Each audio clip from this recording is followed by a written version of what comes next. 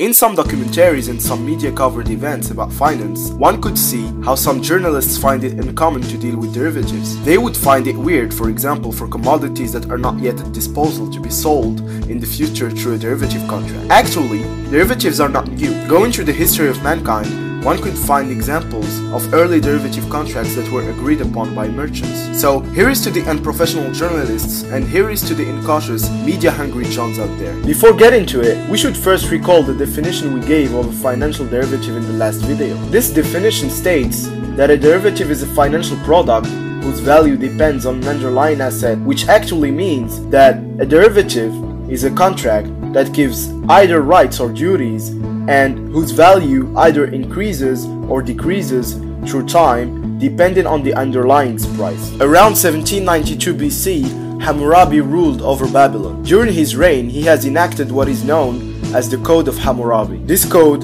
contains a set of rules that regulated the life of Babylonian people. The 48th law of the code states the following. If anyone owe a debt for a loan and the storm prostrates the grain, or the harvest fail, or the grain does not grow for lack of water, in that year he need not give his creditor any grain, he washes his debt tablet in water and pays no rent for the year. This would actually mean, in one sentence, that in case of a bad harvest, the interest that has to be paid during that year is excused. If we write that down, taking K as the amount that has to be paid and ST as the value of the crops at disposal at the end of the year, then the rule can be put this way. If the value that has to be paid is higher than what the farmer has, then the difference which is K minus ST doesn't have to be paid, which can be considered as the payoff in that case. On the other hand, if ST is strictly higher than K, then the entire value is paid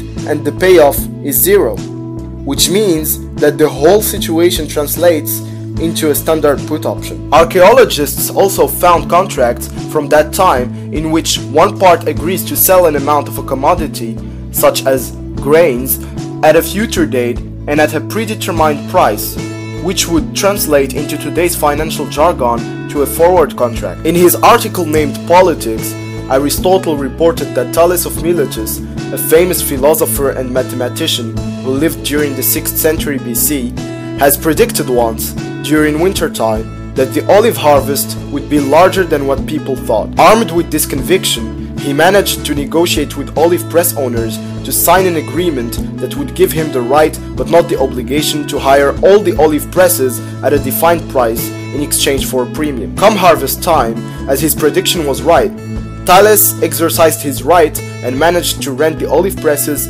at a substantially higher price which made him a lot of money. The agreement Thales made is exactly what is known now as a call option. During the Roman era, forward contracts were allowed as a tool to maintain the supply of commodities related to food. These contracts were regulated by the Roman law and were agreed upon in the commodity markets that were organized by the Romans. During the Middle Ages, commercial partnerships in the image of forward contracts were used to facilitate the import of goods. A great example of that would be the Italian commendas in which one party delivers money in exchange for goods that would be delivered in the future. The modern futures contract, as we know it now, was developed in the US by the Chicago Board of Trade. The latter is an exchange that was founded in 1848 and whose initial goal was to bring the farmers and the merchants together in an attempt to standardize the quantities and qualities of the grains traded. The Chicago Mercantile Exchange, which was founded in 1919, started also dealing with futures contracts right away. The first standardized options